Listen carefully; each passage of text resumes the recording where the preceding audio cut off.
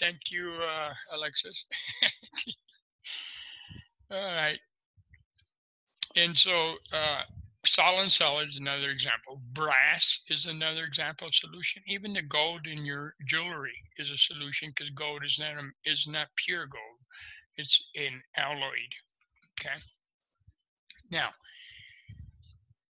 we we talked about polarity and we and and the thing here to remember is like dissolves like is the rule. And so polar solutes will dissolve in polar solvents okay? And nonpolar solutes will dissolve in nonpolar solvents. Um, good example is this. We, we got nonpolar and polar they're not going to mix for example, uh, an oil spill. Oils are, are made up mostly of hydrocarbons, mostly carbon and hydrogen, which are very nonpolar. And so they will not mix in in um, in a water solution. So that's why we got a big mess. Now, normally we use the term soluble and insoluble, but when we're dealing with two liquids, okay, and they do mix, then we, we call that miscible. If they do not mix, then it's immiscible. Okay. When we're dealing with liquids, liquid solute and a liquid solvent. When we're dealing with a solid in the liquid, we use the term soluble or insoluble. Okay. So with respect to ionic compounds and aqueous systems, we have to look at refresh your memory or remember how to use the solubility rules to determine whether it is ins- insoluble or soluble. And also keep in mind, even though it's it's an ionic compound and it's classified as insoluble, it just means that it's a weak electrolyte. There are some ions that go in solution, but the bulk of it still remains in solid form. Okay. Now here we have a table and they're asking you the question, well, which of these solutes dissolve in these solvents? Well, to answer these type of questions, we first had to determine the polarity. See what's all tied in, okay, with what we did before. You know, to determine the polarity, we have to re uh, remember about polar bonds and nonpolar bonds and then if the if the polar bonds cancel each other out then you know the molecule becomes nonpolar. If the polar bonds do not cancel out then it's a polar uh, uh, compound. And so here the solvent is three of them down the first column nh3 which hopefully you know by now is called ammonia and then c12h26 that's a big carbon hydrocarbon don't really have to know what it is, but recognize that it's made, made up of nothing but carbon and hydrogen, okay? And then Br2. And so first, let's determine, well, before we do that, let's go to the solute. Okay, we got the first one, HCl, hydrochloric acid, that we talked about in the past. That's a very polar covalent bond. Then we got I2 or iodine, which is nonpolar because the two iodine atoms are have the same electronegativity, so therefore they'll have a covalent bond. It's a nonpolar covalent bond. Then PCl3, obviously the phosphorus and the chlorides have a polar bond, but when we do the Lewis dot structure, and you know, see how it's all tied in? When we do the Lewis dot structure, we find out that phosphorus has a lone pair of electrons in the central atom, which, like I mentioned before, when that happens, automatically we got a polar component, in this case, polar compound. And then CH4, that's methane. Again, you may not know what it is, but you do recognize, hopefully, that it's made up of nothing but carbon and hydrogen, which tells you we have a nonpolar species. Now, we know that ammonia, NH3, is polar. Again, going to the Lewis dot structure, we end up with lone pair in the nitrogen. Okay, even though nitrogen and hydrogen have polar bonds, because of the lone pair, uh, they have the uh, the structure trigger uh, uh, excuse me, trigonopyramid, pyramid, and therefore it's polar. CH H26, again, polar, nonpolar bonds, all of them, carbon, hydrogen, so that's a nonpolar species. And then Br2, uh, like we did with iodine, that's also nonpolar, okay? Now, as you go through this, also keep in mind what the last chapter of IMF. If we look at ammonia, we determine it's polar. And then the question could be asked, well, okay, what's the IMF in, interaction for ammonia? Well, you know, it's it's uh, NOF, remember, not on file, nitrogen, oxygen, and fluorine, fluoride, hydrogen bonded to nitrogen. So here we got hydrogen bridging. Uh, C12H26, it's nonpolar, London forces. Br2, bromine, nonpolar, automatically London forces. Okay. HCl, we talked at length about this. It's a polar bond, polar covalent bond. Iodine, like bromine, is nonpolar. Then PCl3, if we don't don't know what it is as far as polarity, we can we can uh, do the Lewis structure and we end up like ammonia, same type of structure, with a lone pair on, on phosphorus, which tells us polar compound. And then solute uh, NH4 nonpolar. And so once we determine this, the polarity of the solute and the solvent, now we can determine what dissolves and what doesn't okay, because like dissolves like. And so, yes, the first ammonia and hydrochloric acid, they will dissolve in each other because they're both polar. As we go across the table, we get a no for iodine and ammonia simply because iodine is nonpolar. Okay, we got yes for uh, trichlor uh, phosphorus trichloride because they're both polar both the solvent and the solute, and then a no for NH4 because it's nonpolar. Okay. Going across with the hydrocarbon solvent, we get a no for hydrochloric acid because we're dealing with a polar and a nonpolar species. And this is similar for, you know, those of you ladies that use makeup and trying to remove that makeup. Most of the makeup out there, you know, you got to use an oil-based cleanser to get that makeup off. So what does that infer that the makeup is? The makeup is a very nonpolar species. There's also makeup up there that comes off with soap and water. That infers that that makeup is is more has more polar character, and that's why it can be washed off with water.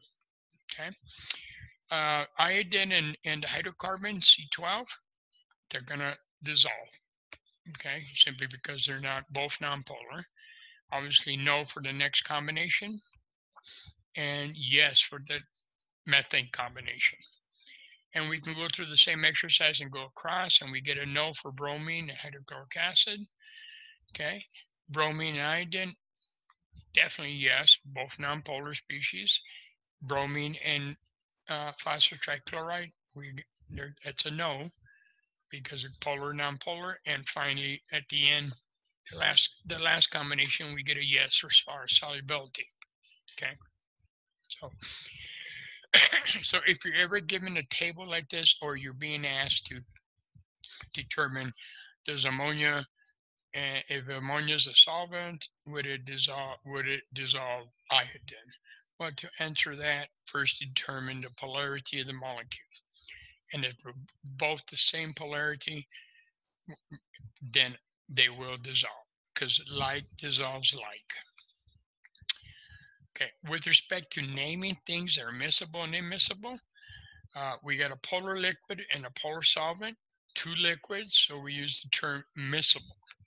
Okay, when we have a polar liquid and a nonpolar solvent, again, two liquids, they don't mix because of polarity it's immiscible.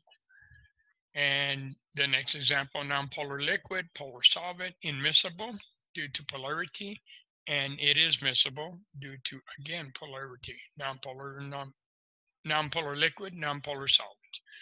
polar solid, solid, polar solvent, soluble. Because here we got a solid and a liquid interaction. Then the next one would be insoluble because we got a solid and a liquid solvent. It's insoluble if it's a nonpolar solid and a polar uh, solvent, okay, and soluble. If we have an ionic compound in a polar solvent, the answer is maybe. And that's determined by the solubility of the ionic compound. Now, with respect to ionic solid and nonpolar, definitely insoluble. Classic example, you put oil in a pan to cook something, you throw a little salt on that pan, that sodium chloride, that salt will not dissolve in that oil. Okay. All right. So, um, we mentioned this briefly before when we were talking about IMF interaction, but basically here, the solvent molecules are being solvated by water, again, because of the polarity of water and the dipole in water. And so the partial negative side in the oxygen is surrounding the sodium ion uh, for sodium chloride and for sodium here. And the chloride, if this was sodium chloride, would be interacting with the partial positive of the water, of the hydrogens. Okay, with respect to concentration, there's two types of, of uh, units that were, or not units, but two types of concentration values that we're going to use. One of them is called mass percent, okay? And that simply is the ratio of the weight of the solute divided by the total weight of the solute and the solvent, okay? Now, with respect to the other one called molarity, here's moles. You thought you were going to get away from it, right? No. Moles, once we calculate the moles of of a compound, okay, and divide it by the volume of the solvent that we're going to dissolve this compound, we have a unit called molarity, uh, denoted by the capital M. It has the units of moles per liter. So let's do one of one example here. All right, so they're asking you calculate the mass percent, and that's the key word. They'll say mass percent for 15 grams of potassium nitrate being dissolved in 135 grams of water. And so we know that the mass percent is given is the mass of the solute, which is 15 grams of potassium nitrate, divided by the mass of the solution, which includes the mass of the solute and the mass of the solvent. Let me highlight that, which is right, which is right there. Okay. Therefore, we take 15 plus 135, that's in our denominator. And then we take 15, that's the solute. We divide that times 100 to give us a percentage, keeping track of our sig fig. So for that solution, it has a 10% uh, mass percent. Okay, 10%.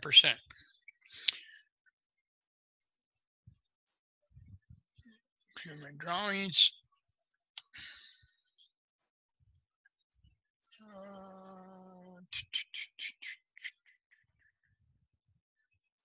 okay, there we go. Now let's let's uh, uh give you the answer here. Well, I set it up. Sometimes you don't know how much water or solvent to use, okay? But you may be given uh, the amount of solute. In this example, they're asking you to calculate how many grams of water are needed to make a 5% saline solution if you have 10 grams of solvent. Okay, so we're going to have to use a little bit of algebra here nothing too complicated. And so this, we set that up as the follows. Okay, they're asking us to do 5%. So 5% is equal to that quantity in parentheses. They give us 10 grams of salt. So we can put 10 in the numerator divided by 10 plus x. What we don't know is x because that is what is being asked to calculate the amount of water utilized. And so we have a algebraic equation and then here, and we get to solve for x, okay? Now there's a multiple ways to do this algebraic equation. One way is not more correct than the other way. The point is you want to get, you want to isolate x. Okay, so one way here is what they did is they divided, they multiplied both sides of the equation by 10 plus x. Okay, and in doing so, we got rid of the 10 plus x on the right side of the equation and moved it over to the left side of the equation. See how, is, how that was done? Okay. The next step was they went ahead and multiplied the 10 times 100 to give you a 1,000. Okay. Now, at this point, you can do this in multiple ways. You can take the 5 here and times the quantity 10 and just multiply across 5 times 10, 5 times x, distribute. That's one way to do it. The other way is you can take that 5 and divide through by 5 in both sides of the equation to give you that. So now you've isolated 10 plus x is equal to 1,000 divided by 5. Okay. And then 1,000 divided by 5 is 200. And now you have 10 plus x is equal to 200. Now we want to solve for x. So to get 10 from the left side over to the right, we subtract 10 from both sides of the equation and that gives us 190 grams. So X is equal to 190 grams. Well, how do we know that's correct? Well, you simply put 190 grams back into the original equation and do the math.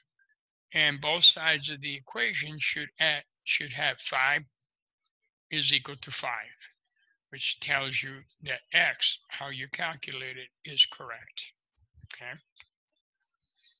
Now we put it in uh, scientific notation simply because sig figs, okay? Uh, 5.00 is the quantity that determines the sig figs because 10 and 100 are exact numbers. So 5.00 is determines uh, our sig figs. That's three sig figs, 5.00. Therefore, our answer should if we write it 190 grams, that's only two sig figs. So by writing it into scientific notation, there's no question about the uh, significant figures because there's three the way it's written in, in scientific notation. Okay, with respect to molarity, again, you need to calculate the number of moles. Now, when we have uh, grams of a compound and we need moles, we need the molar mass. Okay, we, we did the molar mass in the last chapter. We add up all the atoms, and that's our add up all the atoms and uh, for that compound, and that gives us the molar mass, which has the units of grams per mole. So if we take the grams given and divide by the molar mass, it gives us moles. And then if we divide that by the volume that we're going to dissolve this, we have molarity. Okay. Uh, one, one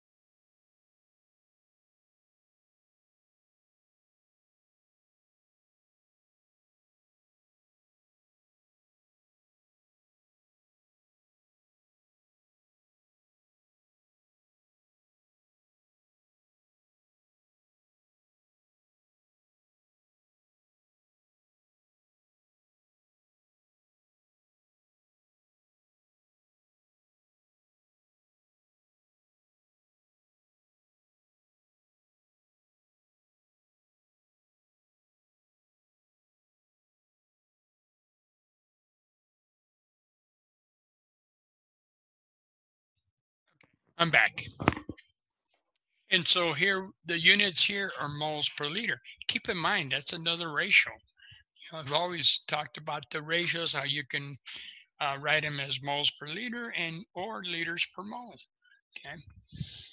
Okay, so the problem given here says, let's calculate the molarity if 9.99 grams of potassium bromide is dissolved in water to make 2.50 liters of solution. Well, first thing we need to do is figure out the formula for potassium bromide. Okay. And so once we know the formula, the correct formula, then we can calculate the molar mass. So my suggestion is write potassium bromide in ion, ionic form first. So that being the case, let me uh,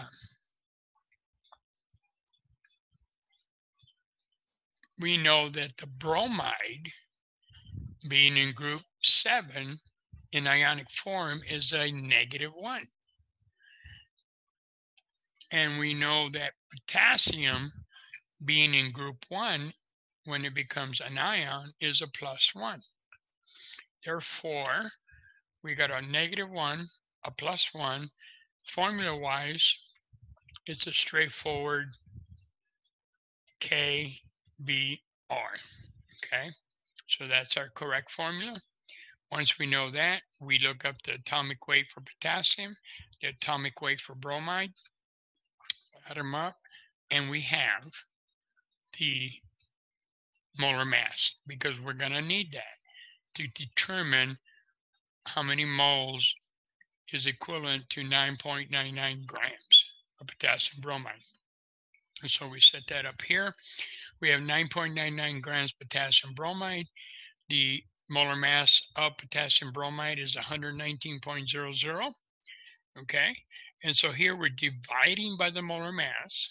Look, look at my units, keep track of units. I can't overemphasize keeping track of your units and making sure things cancel out. You can see here that grams cancel, leaving us moles, okay? Moles of potassium bromide. And now uh, just carry all of the digits out. Don't worry about sig figs until at the very end. Okay. And so taking 0.008395 and we divide it by the volume that we're given, which happens to be in liters already, so we don't have to convert anything. Divided through through um, uh, 2.55, excuse me, 2.50 liters has three sig figs. Uh, 9.99 has three sig figs. So our answer should have three significant figures. And our answer is uh, 0.0336 moles per liter. Okay. And so if I take out 9.99 grams, put in a special container, glassware, and we has a special mark that's exactly two and a half liters, dissolve it up to two and a half liters, its molarity will be 0.0336. Okay, so that being the case, let me erase my stuff here. Now, there are a lot of practice worksheets on the website. Practice, practice, practice. You know, knock them out. I, the the um, the answers are given, but work them through first. See if you can get through them. And then if there's a problem, you can email me. But since uh, this is literally our last uh, live lecture on Zoom, uh, I mentioned an email that I sent out. I will be here tomorrow and Wednesday from 1 to 2 it's office hours, so feel free to stop by if you have any questions. We can work through the problems. And here, let's try one last one. We have uh, calculate the molarity if there are, um, if you have 5.0 grams of sodium phosphate and you dissolve it to make a solution that, has, that is uh, 255 milliliters of sodium solution. So stepwise. What do we need? We need the molar mass of sodium phosphate. Okay. And so, first thing again, we write out the ions of sodium phosphate. Uh, sodium we know has a plus one. Again, like potassium is in group one, so it becomes ionic. Okay, it would have uh, a plus one charge. Now, the phosphate, if you forget, just the term phosphate. That phosphide, IDE, would be just phosphorus by itself, but they're using here eight. That should direct you to the polyatomic ions. Okay, and if you look look that up, you come up with PO4, and it has a negative three charge. Okay, PO4, that is the phosphate ion. So that tells you now that you need three sodium sodiums for every phosphate. So therefore, the formula would be Na3 and then PO4. Okay. So now you have the formula, which now you need to calculate the molar mass. I got four oxygens, one phosphorus, three sodiums. Once you got that, you come up, you should come up with 169, 63.94 grams for the molar mass. So taking 5.0 grams of sodium phosphate, dividing by the molar mass, gives you the number of moles of sodium phosphate. Again, keep all the units there, all the numbers, I should say, until at the very end of the calculation. The next step is to figure out the volume because molarity, remember, is moles per liter, but you're given the problem in milliliters. And so you need to convert milliliters to liters. And remember that they're in one liter, there are a thousand milliliters. Okay. There's, and so putting up this conversion factor and again, keeping track of your units, can't overemphasize that. Notice in the top, grams cancel. Notice for the volume, the milliliters cancel because I'm looking for units of liters. So take 255 divided by 1,000. Okay. And if you're comfortable with just moving the decimal point over three decimal places, that's fine. Okay. That's not a problem. Okay. So now we have the units that we need, the numbers that we need, and um, we simply just do the math. Uh, keep keep mind keep in mind here the sig figs 5.0 grams of sodium phosphate two sig figs 255 milliliters three sig figs so our answer should have no more than two sig figs okay so doing the math if i if you take out 5.0 grams of sodium phosphate and you dissolve it with 200, 255 milliliters the molarity of that solution would be 0.12. Okay. Now, that being the case, basically what this is now is just a reminder not to forget your assignments. Okay. There is a practice final exam on the website. The problems will be very similar. Obviously, the one on the website is you know show the work type but uh, our exams are going to be online so those show the work types have been converted for a multiple choice or fill in short answers okay but that's a good resource and then uh, my last for disregard that, that was last chapter i will it really uh, well when I, I take that back yeah my last one will be wednesday because i'll be here tomorrow tuesday and the last one will be Wednesday, okay? Because the finals on Thursday, and that is opened up from the final opens up at 6 a.m. and it closes up at 11:59 p.m. I extended the time a few minutes. You got, to believe, 110 minutes. It's comprehensive, okay? And so give yourself plenty of time. Hopefully, you can find some time that's you know nothing can disrupt you because once you start it, you you really can't go back. It's you need to uh, uh, knock it out in one setting. Uh, if you've not done anything, you missed anything, you can still go back and get some points. I mentioned I sent an email about that. Any missed assignments uh, for homework and activities, feel free to go back. Yes, you get a little bit of penalty, but you know, uh, a little bit of points is better than no points at all because I have to insert a zero to that any miss assignment and that will drop. If you have a lot of them, that will drop your grade. Okay, so uh, it has been a pleasure. I appreciate uh, your three. Your three have been constant here. And um, um, all right. Oh, any suggestions you have? You know, because we're on my side of it. You know, a lot of us are just learning how to do this online stuff. We're going to do it again next semester, uh, and so we're we're learning too. So I welcome any suggestions you have uh, as far as the coursework. Feel free to shoot me an email and uh, any suggestions. I'm more than, more than happy to read it. I'm always trying to find ways to make it more interesting and you know and, and it's tough this online thing is a whole new ball game for all of us but we'll get through it other than that congratulations you finished 15 chapters of chemistry all right if you have any questions feel free to ask uh, we still got a little time here if not um, I'll be here tomorrow if you have any questions. Okay. All right. Stay safe out there. It is crazy. You,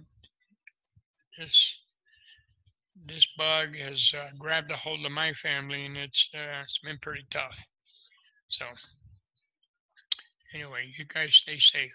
Do you have any questions, any comments, concerns? No. Uh,